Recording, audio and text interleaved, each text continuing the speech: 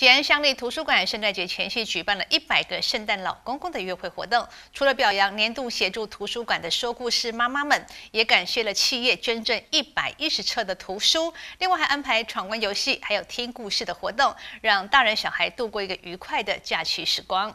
吉安乡立图书馆经过硬体修缮及充实软体，今年度获选全县示范指标图书馆。一百零九年度最后一场亲子活动是以一百个圣诞老公公的约会为主题，在糖果屋前举办欢乐的活动。谢谢我们东泽建设公司为我们来做爱心图书捐赠。我们相信吉安乡图在一百零九年里面努力幸创造幸福有感给我们的孩子，所以谢谢我们所有一起集思广益的所有的爱心故事妈妈，为我们承担起在我们疫情后期的说故事，连续二十六场次来进行孩子快乐的氛围，在我们。今年里面。为我们吉安乡图来改善我们的杀菌设备，来增加我们 LED 的改善，在我们的视觉，还有整个阅读灯光以及整个环境的改善，